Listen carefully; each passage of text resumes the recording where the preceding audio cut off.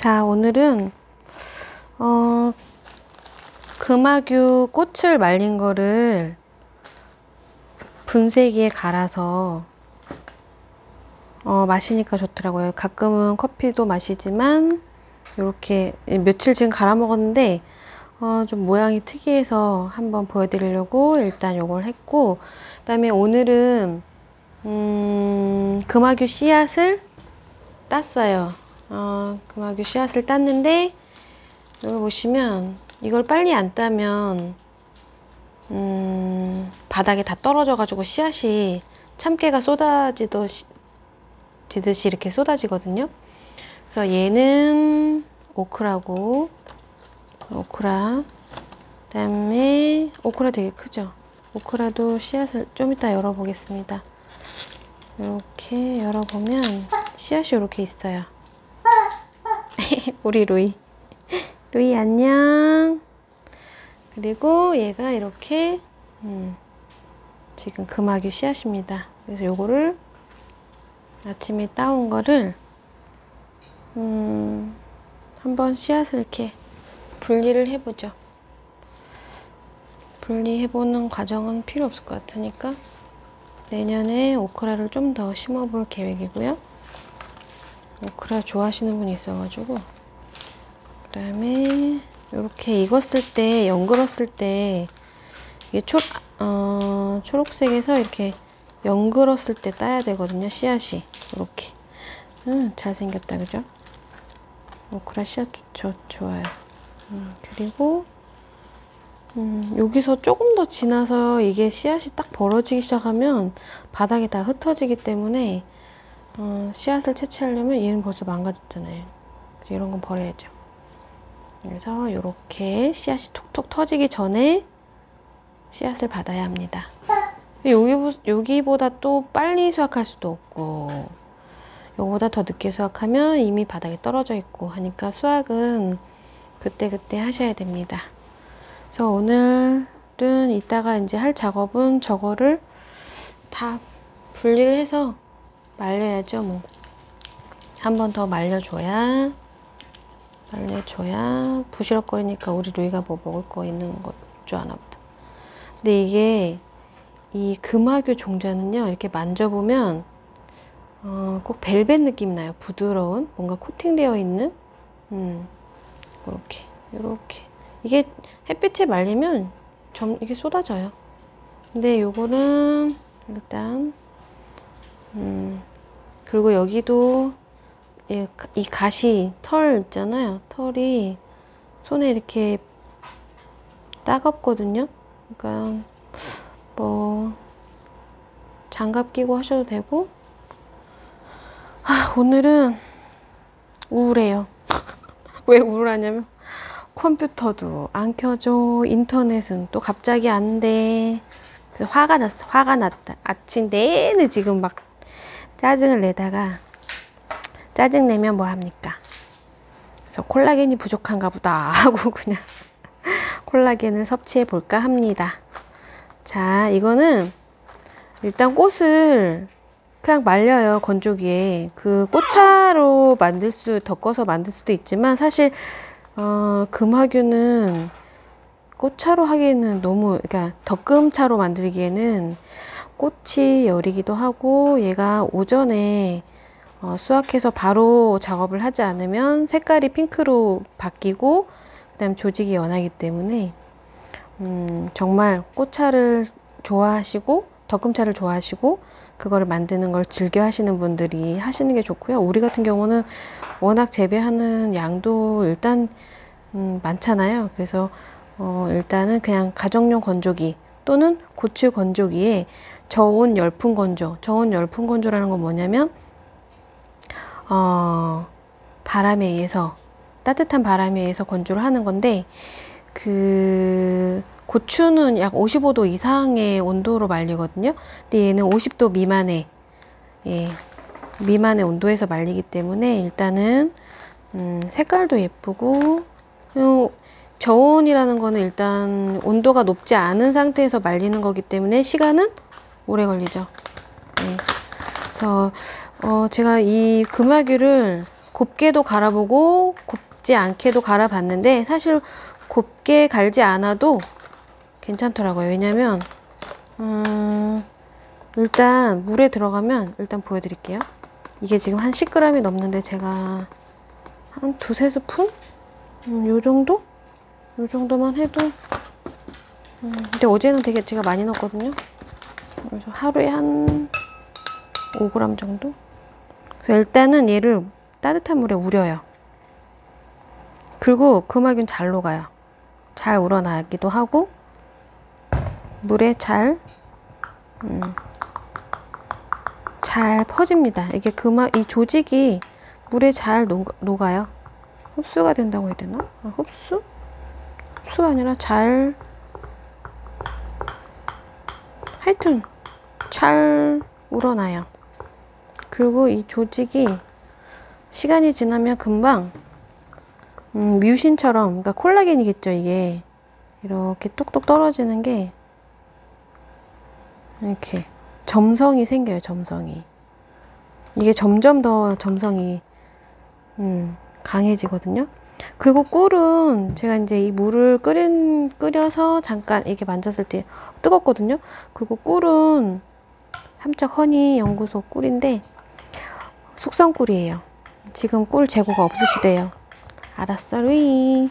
그리고 이게, 음, 꿀 드시는 팁을 제가 꿀을 양봉하는 건 잘 모르지만 환경이 제일 중요할 것 같아요. 근데, 어, 꿀은 너무 뜨거운 온도에서 먹거나 너무 차가운 온도에서 꿀을 타 먹으면, 음, 별로 좋은 효과가 없다고 제가 알고 있거든요. 그래서 꿀은 가능하면, 음, 적정 온도. 너무 뜨겁지 않고 너무 차갑지 않은 온도에서.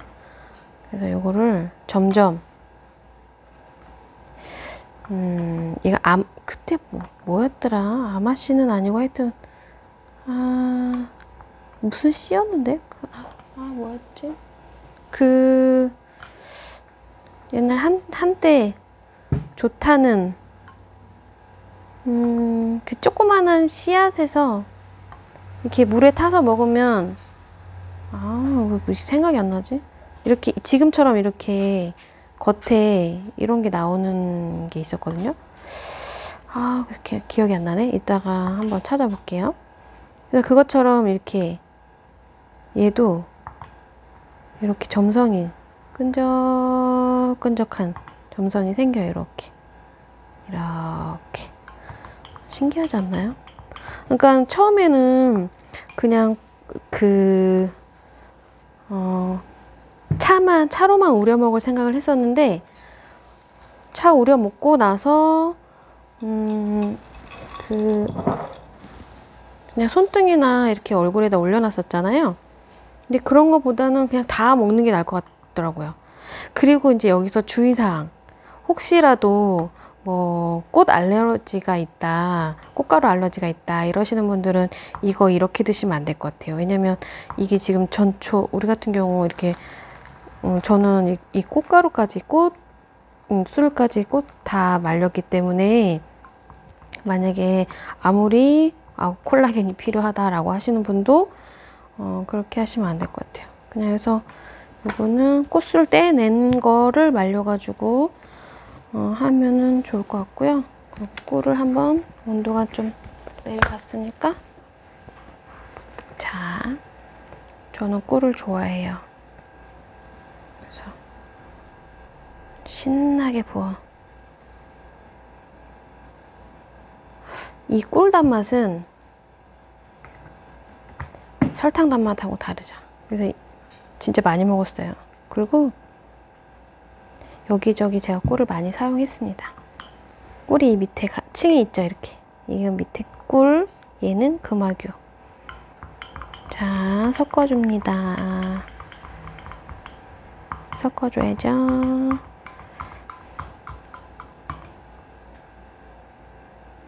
어때요? 점성? 꿀처럼 이렇게 점성이 있, 있, 있어요. 이렇게. 그죠? 이렇게. 이거 먹으면 그 마 먹는 거하고 비슷해요.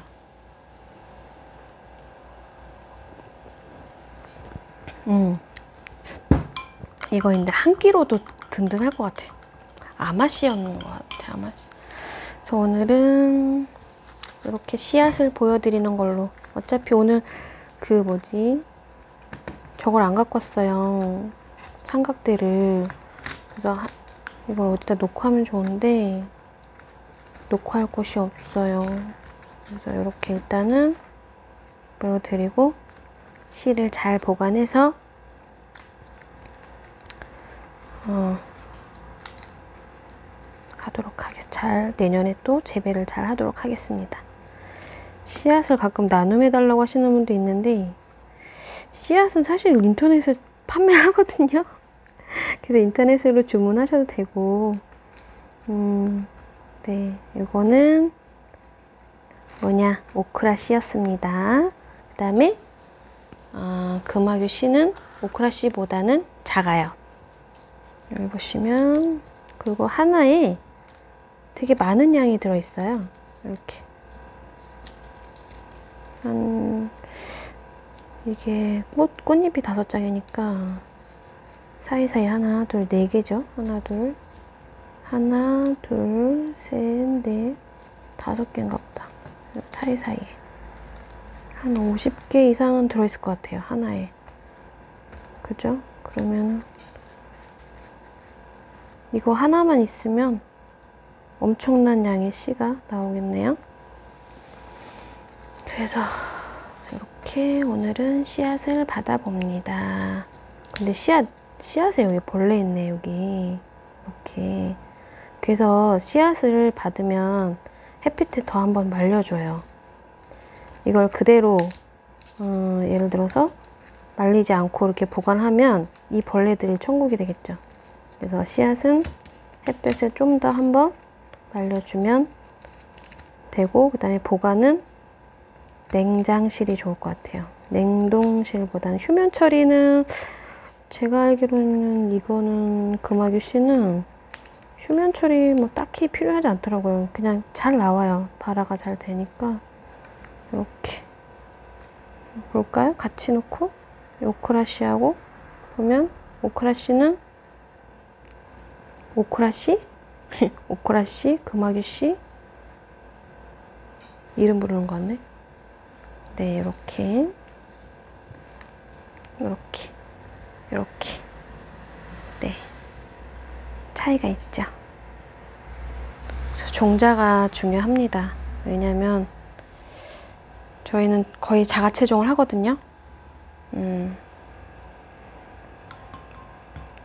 우량 종자를 선별하는 예를 들어서 이런 거는 빨리 버려야 되니까 아, 하긴 뭐 이런 거는 씨앗으로 치지도 않죠. 이렇게 이렇게 음. 그래서 발화가 잘 되는 종자여야 하니까 이렇게 잘 따서 말려가지고 이것도 볶아서 씨도 드신다는 분들이 있는데 올해는 음, 씨는 안 먹고 그냥 내년에 농사를 또 해야 되니까 근데 엄청 많은 양이죠? 음. 씨앗을 받아서 보관 잘해서 씨앗 잘 받아서 또 아무 데나 두시지 말고 저 우리 우리 엄마랑 나랑 씨앗 잘 받아놓고 너무 보관을 꽁꽁 숨겨갖고 잘 하다가 이듬해 어디 있는지 몰라가지고 못 심는 경우도 있어요. 그런 일이 왕왕 있죠. 네. 오늘은 금화규 차 한잔 하면서 컴퓨터도 안 되고 인터넷도 안, 당연히 안 되니 그냥 내 데이터 써가면 작업을 해보도록 하겠습니다. 얌전한 하루가 되겠네요. 사회적 거리두기로 인해서 아무것도 안 하고 있어요. 문 잠갔어요. 그리고 하천 농부들 농산물은 온라인 판매를 하고 있으니까요.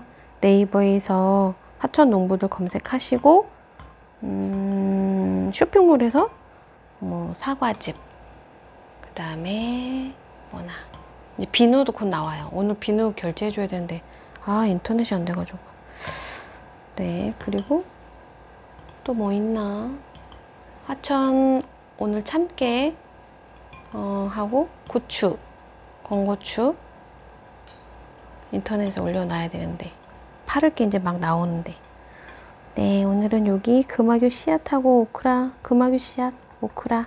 그 다음에 금화교 먹는 방법.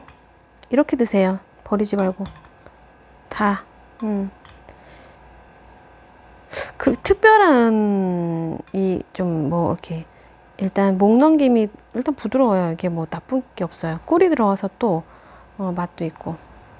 오늘 수다는 여기서 마치겠습니다. 저 많은 씨앗을 까야 합니다. 오늘도 화이팅! 건강한 하루 되세요. 하천 비타민 나무 농장이었습니다.